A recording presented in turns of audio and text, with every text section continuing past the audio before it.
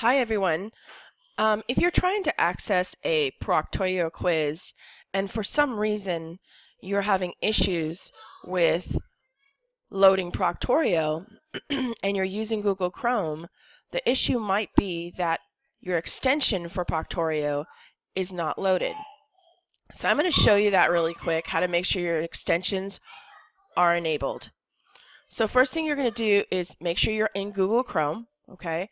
And if you're not sure what the Google Chrome extension looks like, it looks like a little circle with an eye in it and it has green, red, and yellow all around it. So you want to make sure you click that and make sure that you're on Chrome first and foremost. Also, you want to make sure that you are logged in here. So you'll see either your picture, if you click on it, you'll see your email address. You want to make sure that you're logged in because if you're not logged into Chrome, you're not going to see the Proctorio extension that you probably downloaded when you first tried to take the quiz. And that extension is located in the quiz. So what I'm going to do is I'm going to click the dot dot dot on the top right hand corner and I'm going to go all the way down and click on more tools. I'm not going to click, I'm just going to hover over it. You see there's an arrow. I'm going to hover over it. And right over here, I'm going to click on extensions. This is going to take you to your Google extensions. Again, you have to make sure that you're logged in or else you're not going to see this. Chrome's not going to know who you are.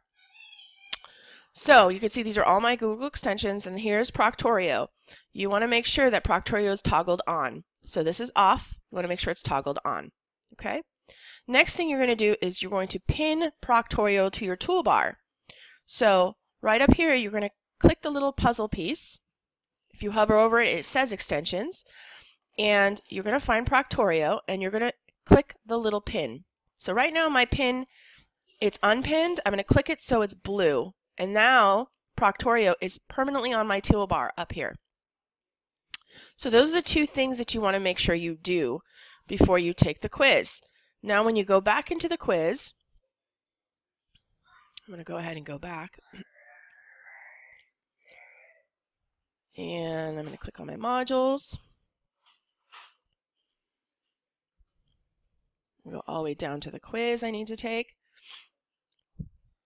And I'm looking at quiz 3. Here it is. I'm going to click that. I can go ahead and begin the quiz. Click Student View. And Proctorio should be running on my computer, no problem. And I can click Take Quiz here. Um, and again, you have to make sure that you've downloaded the browser. And if you haven't downloaded the extension, it will be here, but I've already downloaded it so you don't see it. And I think most of the students in here have already downloaded the extension, so we have no problem with that. It's just enabling the extension and making sure that you're logged into Chrome. Hope this is helpful. Bye-bye.